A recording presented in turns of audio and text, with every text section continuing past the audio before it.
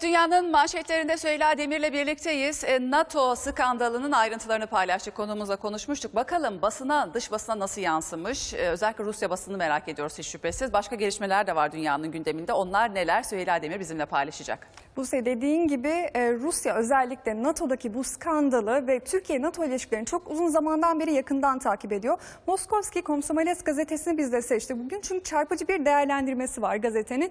Diyor ki Cumhurbaşkanı Erdoğan artık NATO'ya duyulan güveni sorguluyor ve aslında bu Rusya için bir fırsat değerlendirmesi var. E, detaylarına inilmiş krizin aslında sadece bir fotoğraf e, skandalı değil Türkiye ile NATO ilişkilerinin gündeminde olan kriz. Bunun çok daha öncesi var. Hem S-400 e, anlaşmasının Rusya ile imzalanıyor oluşu hem de aslında NATO'nun Türkiye'nin hava savunma sistemi ihtiyacına talep vermiyor oluşu bu krizin öncesi ifadesi var ve de diyor ki gazete bu Rusya için değerlendirilmesi gereken bir fırsat. Zira Rusya Türkiye'nin silah pazarına daha büyük bir payla geçebilir, girebilir. Evet Rusya açıkçası NATO krizini kendi ekseninden değerlendirmeyi tercih ediyor. Şimdi Suudi Arabistan'a bakalım.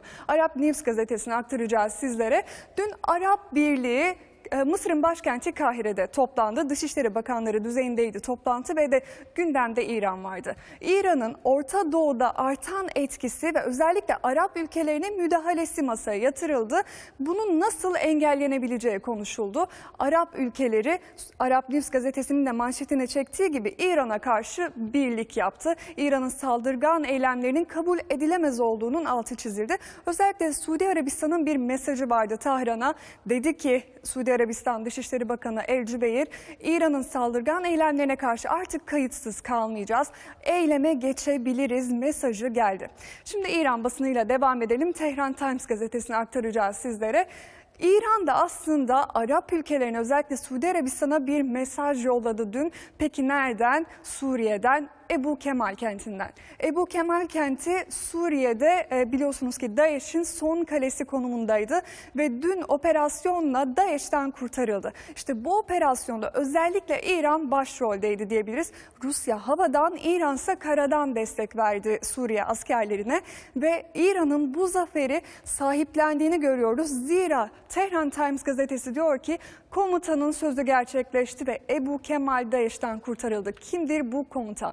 İran devrim muhafızlarına bağlı Kudüs gücünün komutanı Kasım Süleymani'den bahsediliyor. Süleymani haftalar öncesinde demişti, aylar öncesinde de demişti Ebu Kemal'i kurtaracağız ve e, Ebu Kemal kurtarıldı. Şimdi de e, Tehran Times gazetesi Arap ülkelerine şu mesajı veriyor. Biz Suriye'de zafere ulaşıyoruz. Siz bizi durdurmak isteseniz de biz aslında askeri planlarımızı başarıyla gerçekleştiriyoruz diyor. Şimdi Lübnan'a devam edelim. Bir Arap ülkesiyle devam edelim. Biliyorsunuz ki Lübnan günlerdir, e, haftalardır, iki haftadır Başbakan Hariri'nin ülkeye dönüşünü bekliyor. İstifa kararı kabul edilmemişti Hariri'nin ve salı ya da çarşamba günü Beyrut'a geleceğini açıkladı, döneceğini açıkladı.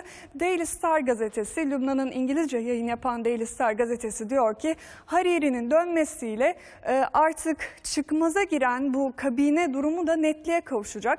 Cumhurbaşkanı Michel Aoun ya Hariri'nin istifasını kabul edecek ve bunun ardından iki senaryo hayata geçecek.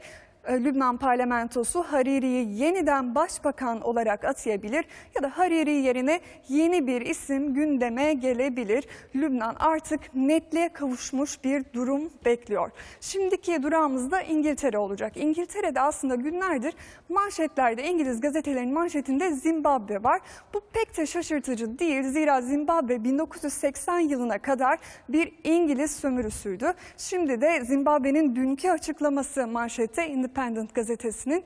Zira e, Mugabe'nin e, istifa çağrılarına direndiğini görüyoruz. Kendi partisi Mugabe'yi liderlikten azletti ve yeniden istifa çağrısında bulundu ama Mugabe tüm bu çağrılara e, olumsuz yanıt verdi. Dün halkın karşısına çıktı. İstifa etmiyorum, genel başkanlığa da devam ediyorum dedi ve Independent gazetesi bu durumu Mugabe istifa çağrılarını reddederek tüm dünyayı afallattı manşetiyle okurlarına aktarmış. Sıradaki durağımız da Yunanistan olacak. Yunanistan'da Etnos gazetesi aslında bir vefa örneğini sergilemiş. Çok erken kaybettiğimiz kahramanımız Cep Herkülümüz e, Naim Süleymanoğlu'nun ilk sayfada olduğunu görüyoruz gazetede. E, ve şöyle e, bir detay da var. Naim Süleymanoğlu'nun ezeli rakibi Leonidis gazetede bir veda yazısı kaleme almış Naim Süleymanoğlu için. Bu da gerçekten de komşumuzun bir spor kardeşliğine verdiği önemi bize yansıtıyor. Etnos gazetesindeki detay da bu şekilde ve son durağımız Fransa olacak.